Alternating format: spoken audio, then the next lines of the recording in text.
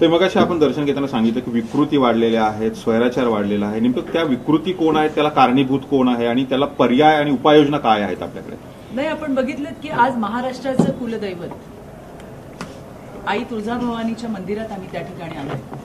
ज्यांची प्रेरणा शक्ती आणि ऊर्जा घेऊन छत्रपती शिवरायांनी हिंदवी स्वराज्याची स्थापना केली. आणि आज आपल्या सगळ्यांचाच महाराष्ट्रातल्या प्रत्येक व्यक्तीचं शक्तीस्थळ हे आई तुळजाभवानी आहे. आज तिथं जाऊन आम्हाला अतिशय आनंद झाला. एक पॉझिटिव्ह एनर्जी एक ऊर्जा घेऊन आम्ही त्या ठिकाणून निघालोय. दरवेळेलाच मातेचं दर्शन घेताना एक वेगळ्या पद्धतीची ऊर्जा आपण सगळेच जण अनुभवत असतो. विषय आहे विकृतीचा. जो सध्या महाराष्ट्रात चाललाय. आणि त्या विकृतीशी लढायचं बळ दे. हे बळ खरं तर हेच मागणं आज मातेकडे आपण मागितलंय.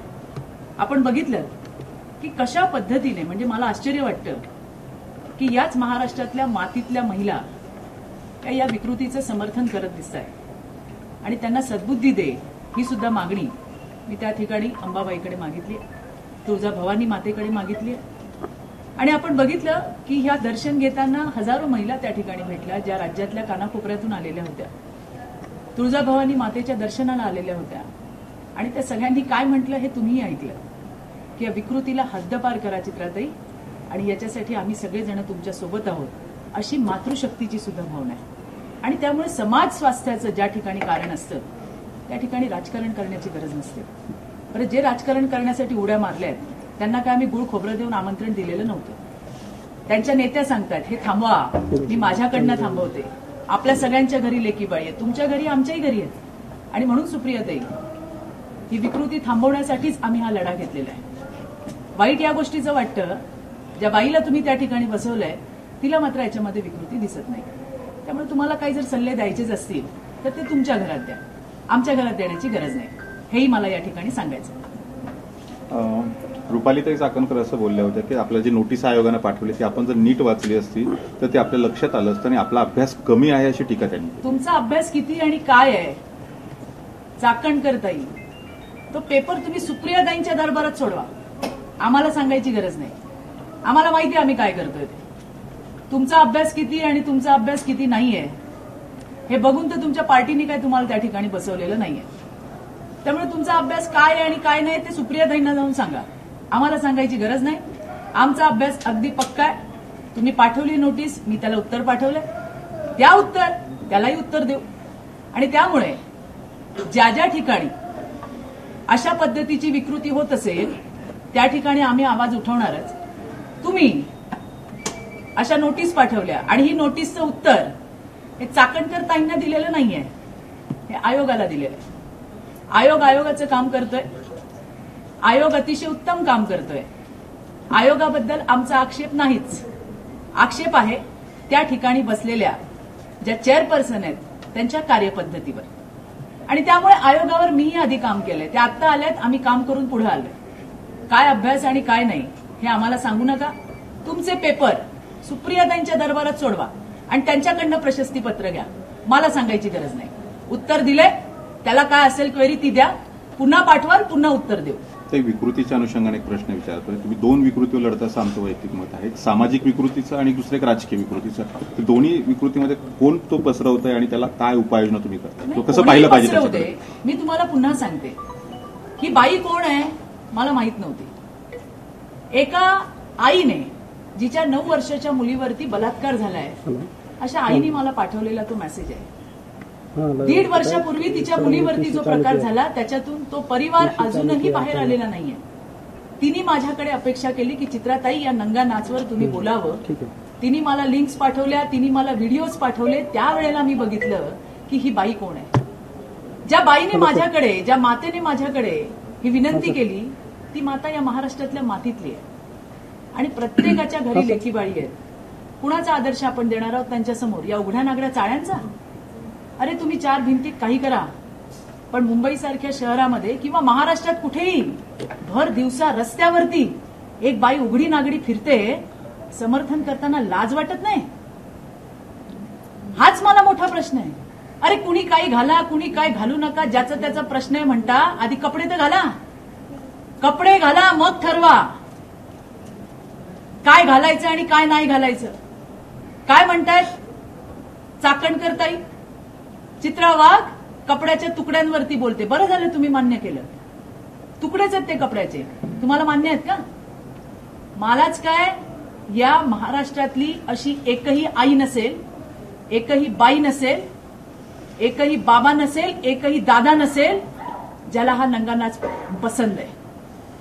आणि हे समाज स्वास्थ्याचं कारण आहे. याच्यामध्ये राजकारण आणण्याची गरज नाही. आणि राहिला गोष्ट नोटिशींचा तर अशा छप्पन रोज येतात. त्याच्यात तुमची एक आली. उत्तर तुम्हाला नाही दिलंय आयोगाला दिलेलं आहे. त्यामुळे काय कारवाई करायची ती बिनधास्तपणे करा. सगळ्या तुमच्या प्रश्नांना जोरदार उत्तर चित्रा वाघ रोज देईल. सामाजिक कृतीवर बोलू तुम्ही सामाजिक विकृतीच्या बाबतीमध्ये कायद्यामध्ये दुरुस्ती करणं आवश्यक आहे. कारण आताचे सध्याचे जे कायदे आहेत त्याच्यामध्ये कपड्याचं स्वातंत्र्य आहे. स्वैराचार नाही. पुन्हा सांगते तुम्हाला मी. तुम्ही चार भिंतीच्या आत काय करता हा तुमचा प्रश्न आहे. पण जेव्हा तुम्ही सार्वजनिक ठिकाणी असता तुम्ही समाजामध्ये असता त्यावेळेला कपड्यांचं भान आपल्याला असलं पाहिजे. मुली घालत नाहीत का? घालतात ना. जीन्स घालतात टॉप्स घालतात फ्रॉक्स घालतात स्कर्ट्स घालतात. ते काय उघड्या नागड्या फिरत नाहीत. ते कपडे आणि ही बाई जे नंगा नाच करतीये याच्यामध्ये फरक आहे. फॅशन आणि नंगा नाच याच्यामध्ये काय आहे की नाही? आणि ते पण ते सुद्धा रस्त्यावरती त्या ठिकाणी येऊन लोकांना चेकळावायचं काम चालू आहे. मी पुन्हा सांगते पोलीस पोलिसांचं काम करतील सरकार सरकारचं काम करेल आणि आम्ही मात्र आमचं काम करू. ऐकलं तर ठीक आहे. नाही ऐकलं तर मी सांगितलेलं आहे काय करणार आहोत ते. आणि ते नक्की करणार आहोत. सुधारलं तर बरं आहे. काल कोणतरी म्हणले कपड्यांची अलर्जी आहे. सगळ्या अलर्जीच्या गोळ्या आपल्याकडे आहेत. त्याच्यामुळे काय काळजी करायचं काम नाही. त्या गोळ्या कशा द्यायच्या आणि कुठून द्यायच्या हे पण आम्हाला चांगलं माहिती आहे. जितेंद्र आव्हाडांनी सांगितले की त्यांच्या खोटा बलात्काराचा गुन्हा दाखल करण्याचे प्रयत्न केले जातात आणि तो दाखल झाल्यानंतर ते आंदोलन करतात. परंतु खोटा गुन्हा दाखल होणं कितपत योग्य आहे कुठं कुणावरही? अहो आव्हाड साहेब तुमची संविधानावर नितांत श्रद्धा आहे. आमची पण आहे. तुम्ही म्हणता तुमच्यावर खोटे गुन्हे दाखल केले. आमच्यावर नाही केले का अडीच वर्षात तुम्ही? जरा माहिती घ्या ना तुमच्या सरकारकडनं. आमच्यावर किती आणि कसे खोटे गुन्हे दाखल केले? आम्ही नाही बोंब मारली. आमचा संविधानावर विश्वास आहे. आम्ही कायद्याची लढाई लढतोय. आणि जर आम्ही निर्दोष आहोत तर आम्ही निर्दोषपणे सुटू ना. तुम्ही सांगा अडीच वर्षात तुमच्या सरकारने आमच्यावरती काय काय आणि कसे कसे गुन्हे दाखल केलेत? आमच्या परिवारावर पण केले हो. आम्हाला नामोहरम करण्याचा पूर्ण प्रयत्न तुमच्या सरकारने अडीच वर्षात केला. आम्ही नाही आलो तक्रार घेऊन. कारण आमचा संविधानावर विश्वास आहे. तुमच्यावर नाहीच आहे. नव्हताच तुमच्यावर कधी तुमच्या सरकारवर नव्हता. पण संविधानावर आमचाही विश्वास आहे आणि कायदेशीर लढाई आम्ही लढतोय. कायदेशीर लढाई तुम्हीही लढा. असाल निर्दोष तर बाहेर निघाल नसाल तर शिक्षा होईल. आणखीन त्या पलीकडे काय बोलणार? कपड्यावरून जे सध्या सुरू वादंग सुरू आहे. गुन्हा दाखल कुठेच होत नाही किंवा कायदेशीर बाबींवर कारवाई होत बघा. त्याच्यावरती काम चालू आहे. मी तुम्हाला पुन्हा सांगते. गुन्हा दाखल होत नाही. कायदेशीर बाबी नाही म्हणून तुम्हाला असं वाटतं का? की आम्ही हा नंगा नाच उघड्या डोळ्यांनी बघायचा? तर ते चालणार नाही. आज मी बोलतीये. हजारो बायका उद्या बोलतील. हजारो बायका. हा काय भारतीय जनता पार्टीचा मुद्दा नाही हा महाराष्ट्राच्या संस्कृतीचा मुद्दा आहे. छत्रपती शिवाजी महाराजांचं नाव घेऊन भाषणाची सुरुवात करता अरे लाजा ठेवा थोड्या. महाराज असते तर काय केलं असतं? आणि तुम्ही त्यांचं नाव वापरता आणि या उघड्या नागड्या चाळ्यांना तुम्ही समर्थन देता आणि वरून आम्हालाच उपदेशाचे डोस कपासता की आता हे बस करा आणि उत्तर प्रत्युत्तर थांबवा. आता आम्ही काय कोणाला आमंत्रण द्यायला गेलो नव्हतो. आलाय आणि प्रश्न विचारला तर चार प्रश्न विचारले तर चाळीस उत्तरं मिळतील. आणि त्यामुळे आता कायदेशीर नोटीस पाठवली ना तुम्ही मी सुद्धा त्याला उत्तर दिले आणि माझं आवाहन आहे जे उत्तर दिले तेही पब्लिश करा जशी माझी नोटीस पब्लिश केली. लोकांनाही कळू देत. आणि त्यामुळे आता ही लढाई आहे ही चालूच राहणार. वाईट या गोष्टीचं वाटतं. जिने आवाज उठवला तिला नोटीस पाठवली. जी नागडी उघडी फिरते ना तिला अजून काही कारवाई केलेली नाहीये.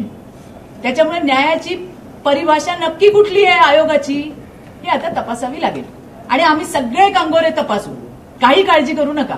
इतके दिवस काम चाललंय काम चाललंय आम्ही काही लक्ष देत नव्हतो. पुन्हा एकदा सांगते.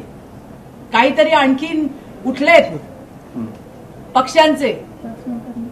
आता यांना हे हवंय यांना ते हवंय इतके खालच्या पातळीचं घटिया राजकारण चित्रा वाघने आयुष्यात कधी केलेलं नाही. त्यामुळे तुमच्या सगळ्या गोष्टींना आम्ही उत्तरं देणार. इतके दिवस पाहिलं नव्हतं आता मात्र सगळ्या गोष्टी चेक करून तुमच्याशी. याच्या पूर्वी पुढची आमची लढाई असेल. छगन भुजबळ असं बोलले होते की दहा कोटी रुपये देऊन ही इतकी प्रसिद्धी जी आहे ती उर्फिला मी यांनी ती प्रसिद्धी या सर्व विषयांमुळे भुजबळ साहेबांना मान्य आहे का? भुजबळ साहेब तुमच्यासोबत मी काम केलीये तुमचा रिस्पेक्ट आहे मला. तुम्ही सांगा समता परिषदेमध्ये आपण काम करता अतिशय चांगलं काम करता. साऊ माईला तरी हे अभिप्रेत असेल का? की ज्या साऊमाईने आम्हाला सगळ्यांना सुशिक्षित केलं सक्षम केलं आणि त्या सावित्रीच्या लेखी आज तुमच्या सावित्रीच्या लेखी तुमच्या पक्षातल्या या स्वैराचाराला समर्थन देत आहेत हे साऊमाईला तरी पटेल का? याचं उत्तर भुजबळ साहेबांनी द्यावं. आणि सगळ्या माध्यमांना मला सांगायचंय हा तिच्या नंग्या नाचाच्या विरुद्धचा माझा लढा आहे माझा बाईट दाखवत असताना तुम्ही तिला उघडी नागडीच दाखवताय बाजूला. त्यामुळे तुम्ही सुद्धा हे भान राखलं पाहिजे. आपला लढा कुणाच्या विरुद्ध आहे? तिच्या नंगा नाच विरुद्ध आहे. आणि एका बाजूला तुम्ही आम्हाला दाखवता आणि दुसऱ्या बाजूला तीच बाई नागडी उघडी दाखवता.